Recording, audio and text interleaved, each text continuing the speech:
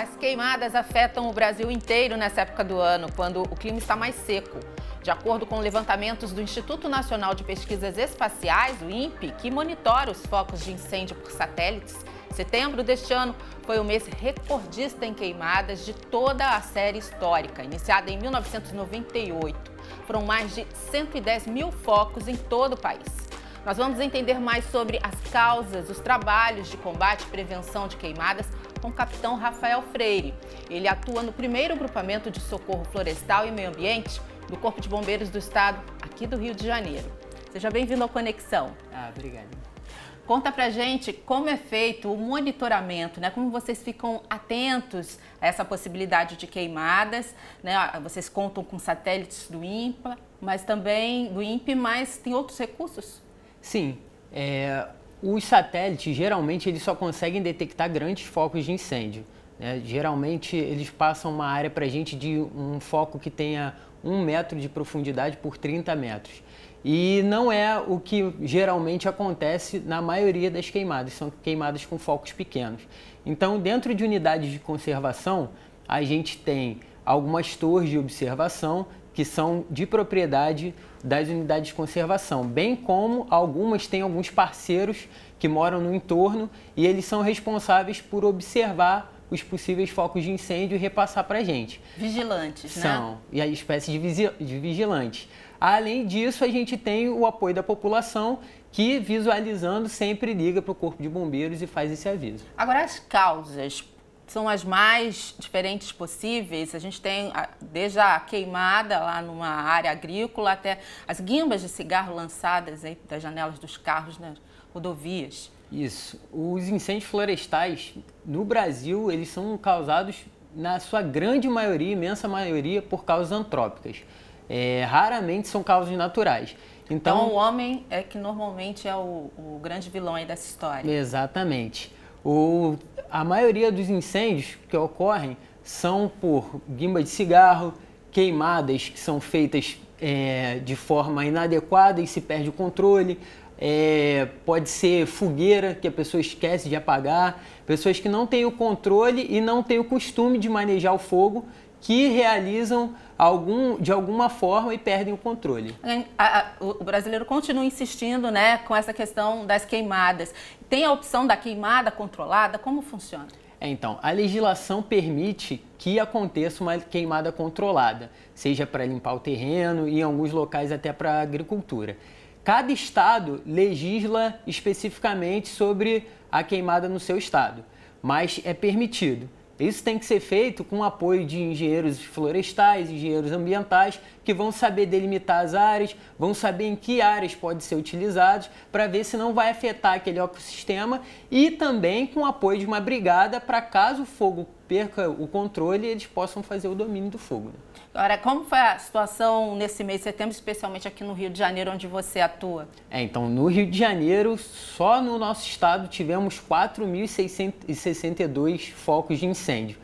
É, no estado como um todo, por conta da seca, que é o principal fator que facilita a ocorrência de incêndios florestais, nós tivemos um, é, um número grande de focos. Porém, em alguns locais que tem mais vegetação, que a gente tem mais fronteira agrícola, com o pessoal querendo botar fogo para expandir área de pasto, e também em locais de difícil acesso, como a nossa região serrana, a gente teve alguns focos que foram mais duradouros, tanto por é, quanto por ter dificuldade de acesso às equipes que vão fazer o combate ao incêndio. E é um trabalho muito perigoso de vocês, né? Exatamente, é um trabalho que exige é, bombeiros especializados, não são bombeiros comuns, nem brigadistas dos parques comuns que vão realizar esse, esse trabalho. É necessário, por exemplo, no Corpo de Bombeiros, a gente tem um curso de três meses e meio para capacitar o bombeiro a realizar combate a incêndio florestal. Nossa, e tudo poderia ser evitado, né? Pelo menos uma boa parte desse número. Exatamente. É, existe, existe muita resistência do povo brasileiro a fazer medidas mitigadoras. Por exemplo, é comum do brasileiro soltar balões. O brasileiro não consegue entender que, que gera incêndio. Vamos falar mais disso daqui a pouco. Olha, as consequências para o meio ambiente, para a saúde do homem, são muitas, como mostra a equipe da TV Unimep de Piracicaba, São Paulo, parceira aqui do Futura. Veja a reportagem da Camila Angelossi. Quando uh, ocorrem queimadas, por exemplo, em áreas verdes, qual que são as consequências ambientais? A gente tem o problema de que a, as matas ciliares, as matas de sub, subbosques, elas sofrem perda, né? Ah, essas espécies que são queimadas, elas não retornam é, rapidamente. O que brota rapidamente do, do, do solo são as espécies oportunistas, né? Que são mais rápidas para sobreviver. Provavelmente toda essa perda de biota é, vai ter que ser feita com plantio novamente. A questão de polinização, né? Os insetos são os primeiros que sofrem com questão de na parte ambiental, né? Então, a, a dos animais. Então, muitos animais que fizeram seus lares nessas, nessas regiões, né, onde sofrem essas queimadas, eles levaram tempo para fazer isso, né, para se, se, adaptar no seu ambiente, fazer construir sua casinha, ah, ele vai, ser, vai sair dali, né? Até ele achar um novo lugar, até ele fazer um novo ninho.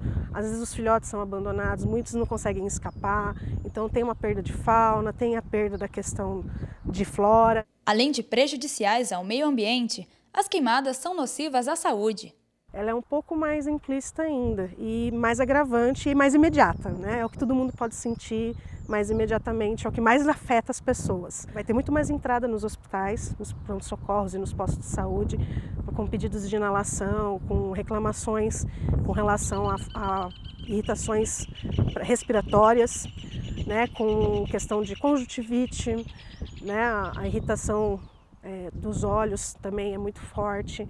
A principalmente na faixa de crianças e idosos, né, são muito afetados com a, com a questão da fumaça. Para evitar as queimadas, é necessário conscientizar a população. Mudar a mentalidade com relação a essas pequenas coisas. Ah, mas todo mundo põe fogo, por que, que eu vou ter que pagar para roçar o meu terreno? Porque você não é todo mundo, né? Faz a sua parte de diferença. Então, a, a principal causa, em pequenas proporções, é a educação da pessoa, tem a ver com respeito ao próximo e principalmente falta de empatia. É isso que, tudo que ela comentou e mais a seguir regrinhas básicas, você falou há pouco, não pode soltar balão? Não pode, né? Exatamente. É, é muito comum a gente fazer, por exemplo, um atendimento a um chamado, quando chega lá no, no local, a pessoa está colocando fogo, ela fala, não, eu estou colocando fogo. Aí a gente explica, não, não pode, vai gerar um incêndio maior e tudo mais.